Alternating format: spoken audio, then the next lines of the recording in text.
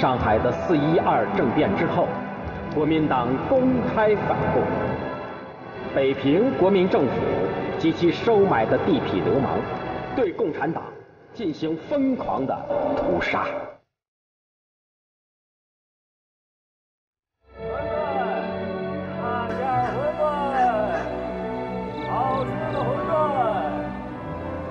别开枪！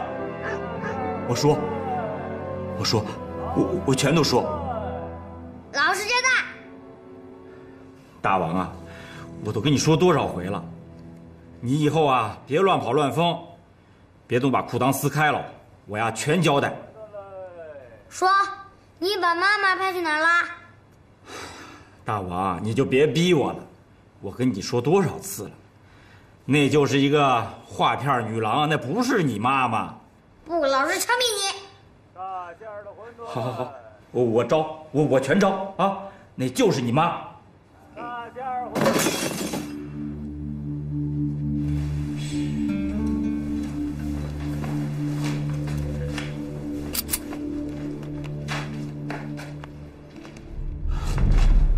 金宝，按咱们平时锻炼的方法，从床底下的暗道一直往外跑，到爸爸带你去的燃油点去找江阿姨，把这情况告诉她。你要牢牢记住你看见的一切，你说的越清楚，爸爸得救的希望就越大。嗯，好，快去。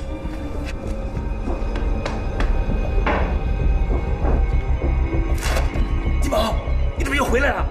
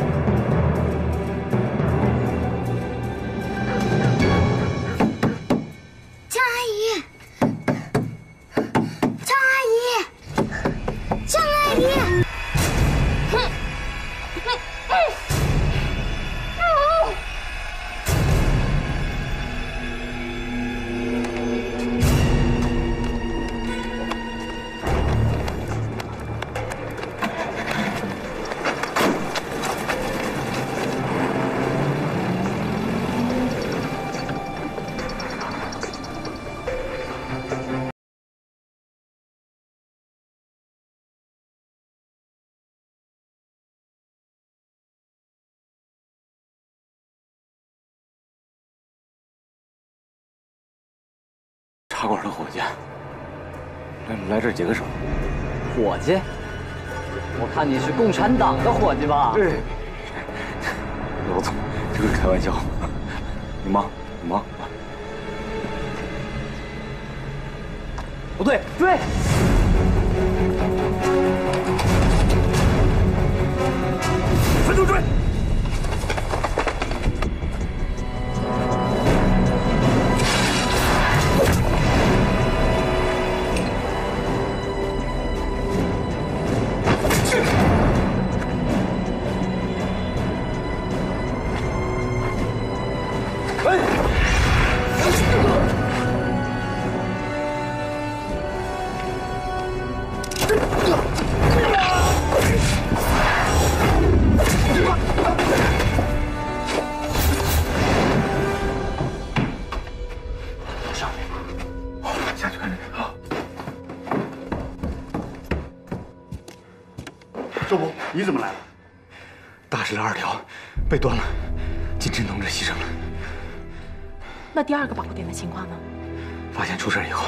就直奔那儿去了。金宝和江锦同志也被抓走了，孩子也被带走了。不行，金宝是烈士的遗孤，是党的孩子，不能就这样被敌人杀害。孩子是党的希望啊！两个点儿刚一建立，就都暴露了。我怀疑有内鬼。金琛是个很有经验的同志，在关键的时刻，他能让金宝逃出来，说明他发现了什么，并且有所准备。可是他已经牺牲了。金宝当时在现场，很可能会有线索。如果是高层出现了叛徒，那对转入地下的同志的存亡有极大的威胁啊！可是，金宝已经被抓走了，明天一早，很有可能就被枪毙了。我跟上级联系一下，看看有没有办法把他们救出来。可现在马上天都亮了，外边又在宵禁，联系组织肯定是来不及了。咱们还是自个儿想办法吧。只有几个小时了，敌人戒备森严，我们只有三五个人，你说怎么办？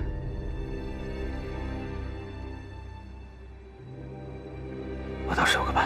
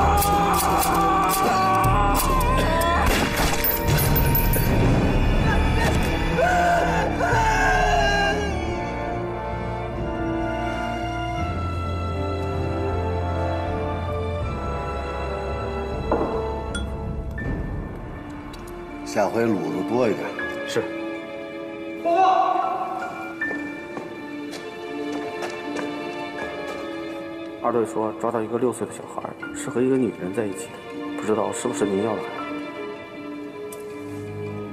现在人在哪儿？昨晚抓到后压在城北的笼子里，现在应该在进城的路上，准备去菜市口行刑。叫上人，带上家伙去菜市口。是。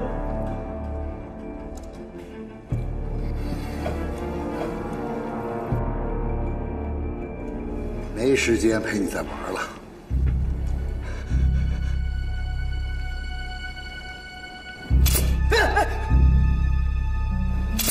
哎哎哎！别杀我！别杀我！我说我说我说我说，联络电台花园路六号。还有没有？没了，没了。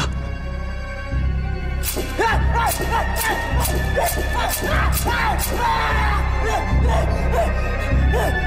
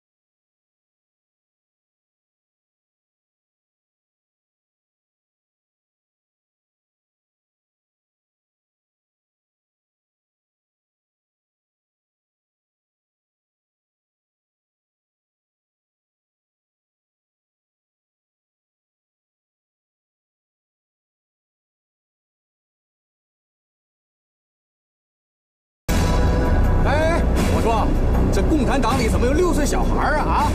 我看呐，就是你们这些国民党借着剿共乱抓人，六岁怎么能参加得入党啊？啊啊！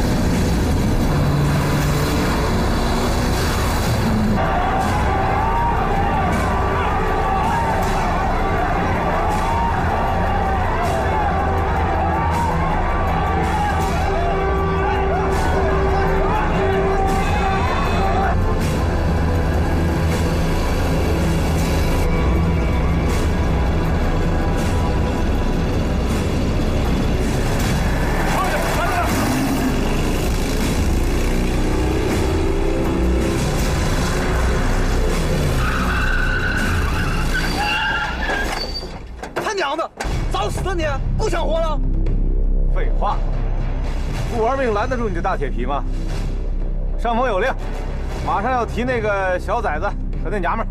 守令，别在这跟老子玩官僚，一个电话要提人，哪来守令？回头我给你送到警备司令部。不行不行，这我可没办法放人。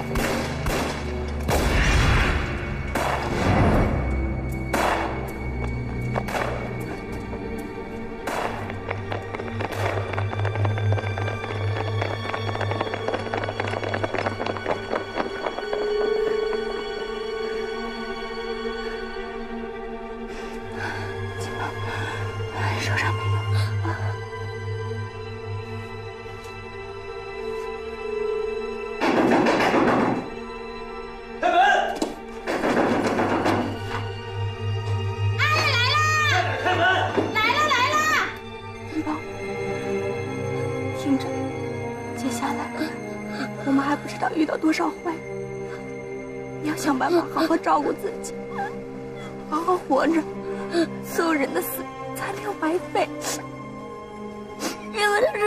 救我，在车上的那些叔叔阿姨们都是为了救我。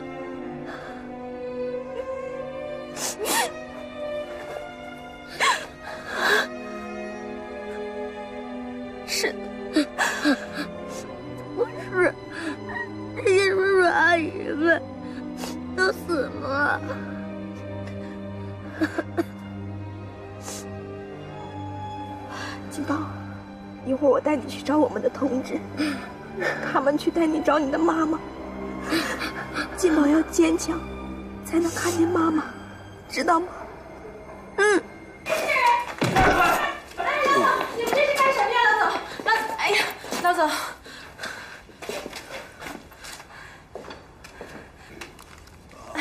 喝多了。没喝多。哎，老总，你看。这肉啊都没怎么吃，给您带回去吧。你看，啊，把酒带上。哎，对对对，把酒也带上。老总，慢走啊，老总，老总慢走。走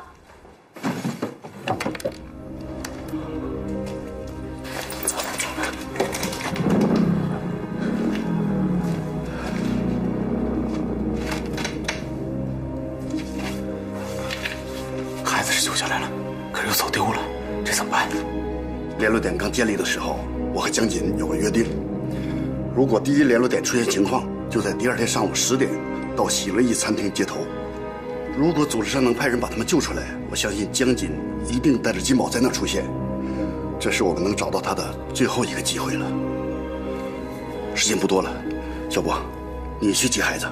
好，我马上去。六年前，金宝的母亲在刚生下他的时候，就被派到苏区根据地去执行任务。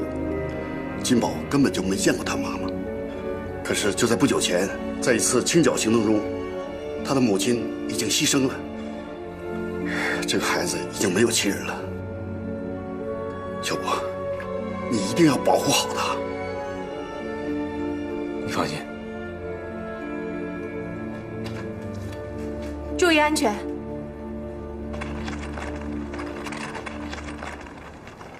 向右看齐，向前看，向左转，跑步走。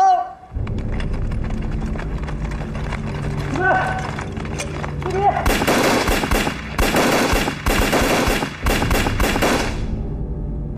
处长，速度。为什么不用铐子？抓的共产党太多，铐子根本不够用。关键的时候不用铐子，就等于给他们提供了逃跑的时间和机会，不然也不会有这种结果。是属下办事不力，您从严处理我吧。把铐子给他，我倒是要看看你能不能把铐子给咬断。让你的人把所有的尸体都给弄到路的中间，封锁每一个路口，故意把动静给闹大，一定要让他们露出马脚。是。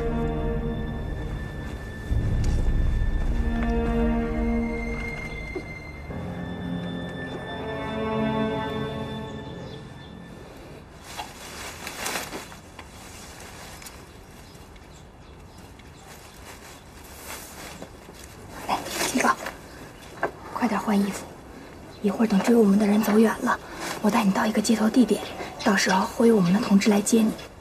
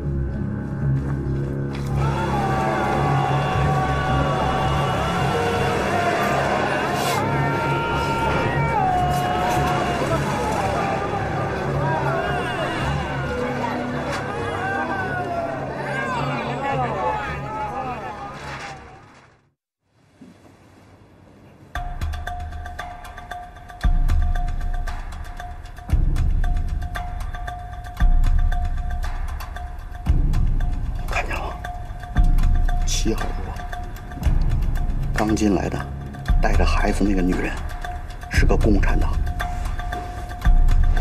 一会儿还会有共产党进来跟他见面，咱得合作，做个局。一会儿我手下的弟兄扮装来吃饭的客人，但女招待我扮演不了。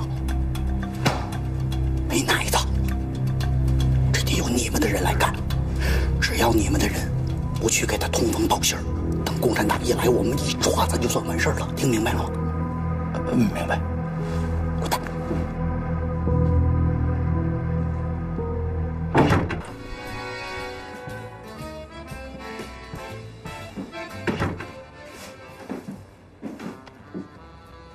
嗯？哎 呀吓我一跳。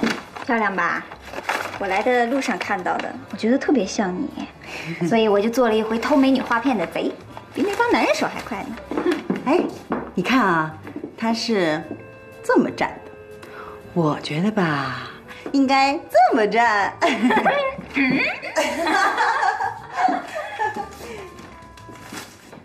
长得像又有什么用啊？又不能像人家过那么好的日子。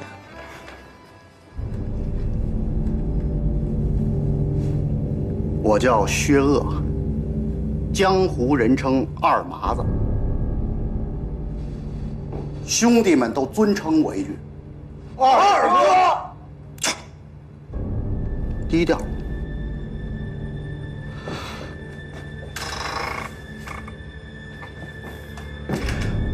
我薛鄂在北平天桥这一带，拜把子兄弟一两万，谁不服拉出来就干。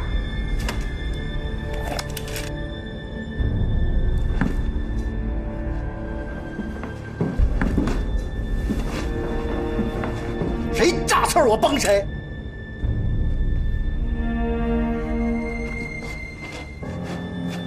谁漂亮我娶谁。哎，薛爷，谁有钱我抢谁。寡妇门我敲过，绝户坟我挖过，当官的、当兵的、军阀政府的，杀共产党人手不够的，还得指望我们这我们这些地头蛇。从哪儿来的？昨天三号桌剩下的，你别说是我拿的。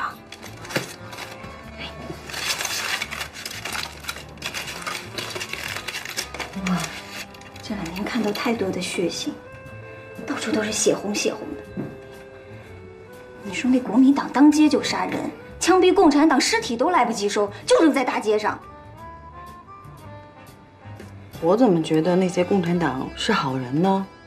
我去过他们的夜校讲习所，我觉得他们对老百姓挺好的，不像是坏人，还给他们讲课呢，还是免费的。哎，怎么突然就成土匪了，还要被砍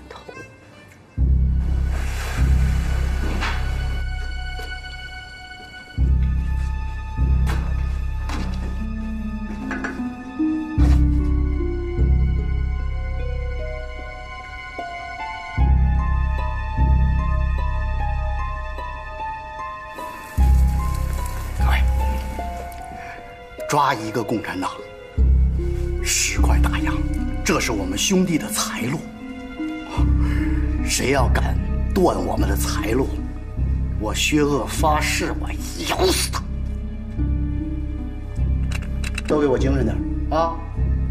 你们要敢坏了爷爷的好戏，我就让你们白刀子进去，红刀子出来，用你们的血洗刀子。听听听见了吗？啊！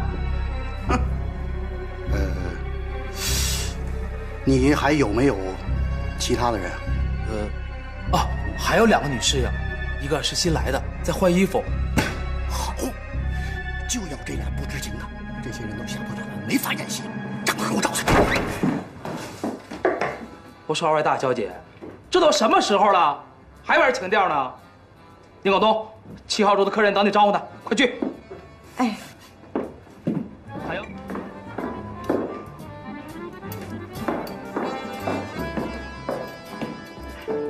大姐，你想吃点什么？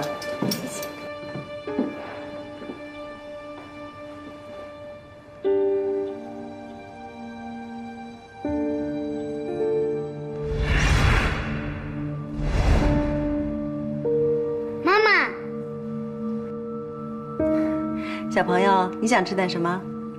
妈妈，嗯金宝，她不是你妈妈，一会儿有一个叔叔来带你，他会带你找妈妈的，啊？不好意思，我们还在等人，一会儿再点单可以吗？可以。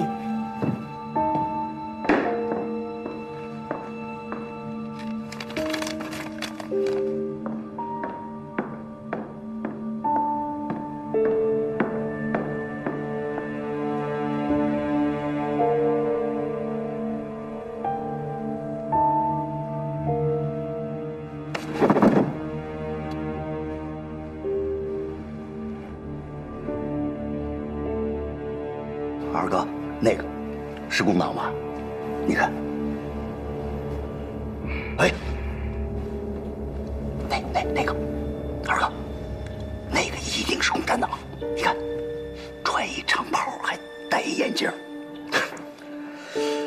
我现在发现，自从共产党这脑袋能当银子使，你小子满眼睛里全是共产党。快点啊！怎么了？看见了吗？餐厅来了一帮假扮客人的混混，他们打着纠察的旗号，是来抓共产党的。一会儿他们让你干什么你就干什么，知道什么都不知道。哦，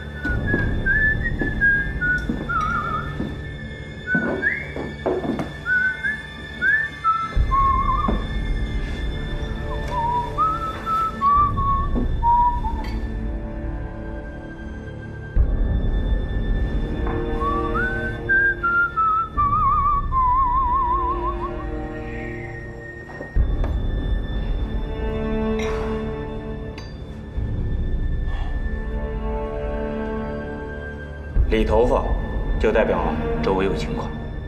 理头发的方向，就是情况的方向。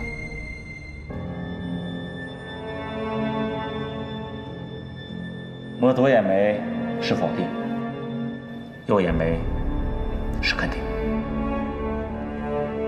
拍自己的肩膀，就是由自己来掩盖敌人，掩护战友撤退。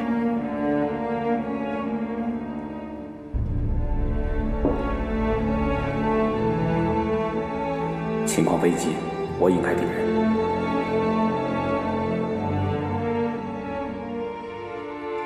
不，你保护孩子，我掩护。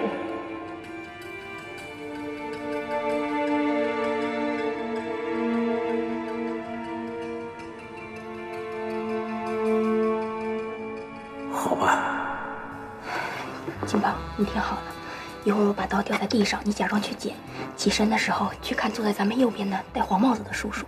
你要记住，无论发生什么事情，要跟住他，他会保护你的。那我妈妈呢？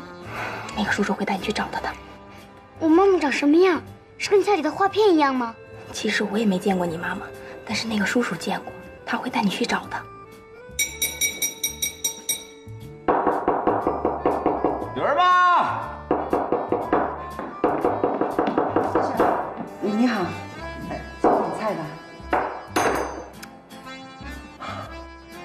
哎呀，哎呀，哎呀，新来的啊！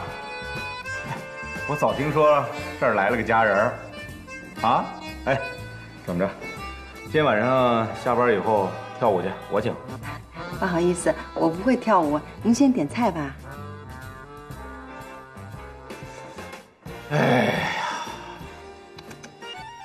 外国字儿谁认识啊？哎，这你给我讲讲呗，这什么菜？这都是。不，先生，你你你怎么能这样呢？哎，你放手啊你！讲讲。哎呀，找行吗？菜嘛，你你给我看，先生，这这这，你看，我也点菜，点菜，点菜，好了你。先生，先生，你要再这样，我不客气了，我。别介，别介，哎呀，哎呀，哎呀，这杀人了！哎呀，哎呀！哎呦，不行了，不行了，怎么这？哎呀，哎呀，哎呦，哎呦，你他妈往哪儿坐呀你啊？找死吧你啊！哎，哎，二哥，好了，都出来，给我出来，快点儿！哎，都都都出来！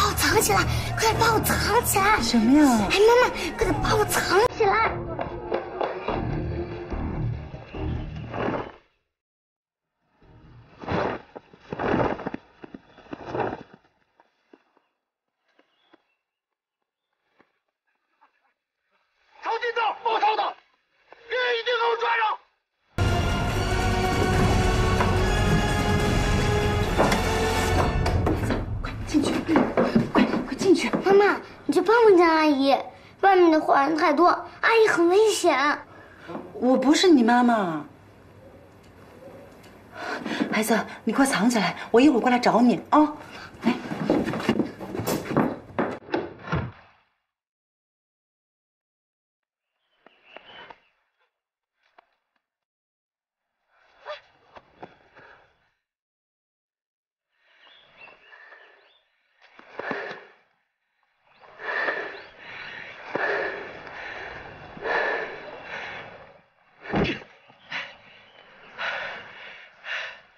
好啊，好啊！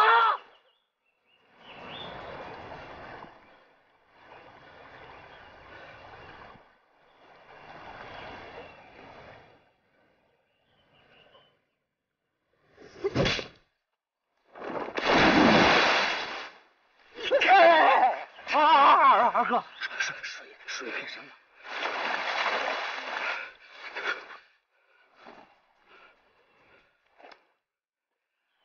活着我抓不着你，死的也能去领钱。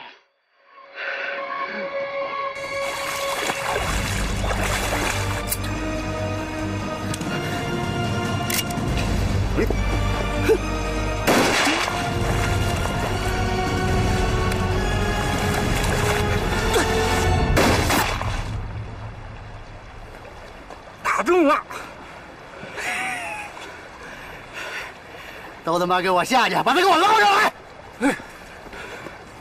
死人也是钱。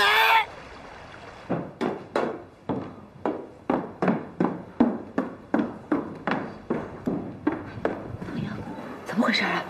那个女共产党跳河了，被他们开枪打死的。真的？现在正在捞人呢，换上去！看什么热闹？我说宁广东啊，你胆子也太大了，那些人你都敢惹，你是不是疯了你？不是经理，你都看见了，他一直拉着我的手，我我不是故意的。你把人家都给捅了，你还在这看热闹？不行，你得走，马上就得走。啊？明天先不用来上班了，等事情过去了，你再回来。等事情过不去，你就自求多福吧。不，经理，我我不能没有这份工啊，要不然我吃什么呀？你惹了那些人，你要是不走的话，整个餐厅的人都活不下去了。回去吧。哎呀，走后门，走后门。等等，你把那个共产党的孩子也带上。在里面呢。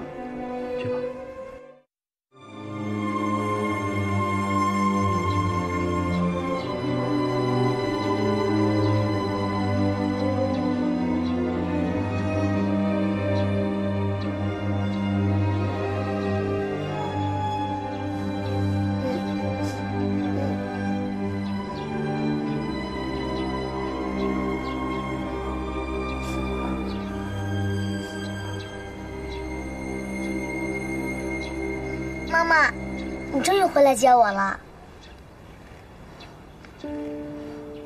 孩子，我不是你妈妈。你是不是不喜欢我，所以才不认我？我喜欢你，可是我真的不是你妈妈。你爸爸没有告诉你妈妈是谁吗？爸爸说你去执行秘密任务，要隐蔽自己的身份。他有一张你的画片，还有那个认识你的西装叔叔他也说你是我妈妈。妈妈你是不是不想暴露自己的身份所以才不认我的呀？你爸爸呢？爸爸在哪让你去找他。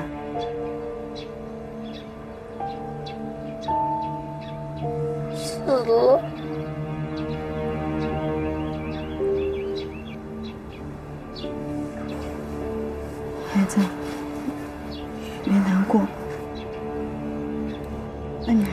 亲人吗？有，江阿姨，就是她带我来餐厅的。她怎么样了？我听说她已经逃出来了，没有被坏人抓走。孩子，你还有别的亲人吗？或者你爸爸妈妈有没有朋友？我带你去找他们。去餐厅，藏藏起来。妈妈，你带我回喜乐意餐厅，叔叔在那里等我。不行，他是坏人，他是骗你回去，想要抓你的。不，我要回。妈妈，你带我回去。我不能带你回去。我跟你说了多少遍了，我不是你妈妈，你怎么听不明白呢？妈妈，你就是不喜欢我，所以才不认我的。嫌我没有看好爸爸，没有看好江阿姨，还害了胡子叔叔他们，还有那个救我的叔叔，也是被我害的。满身是血，就是不喜欢我。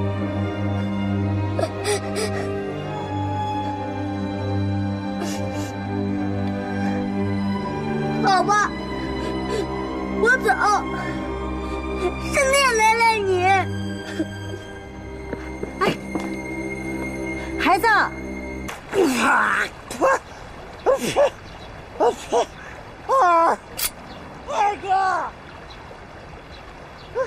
这这这这这水太太深了，这根本根本捞捞捞捞不着啊！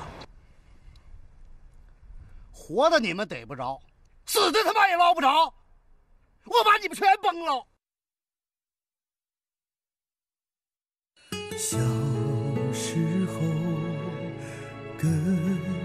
着你，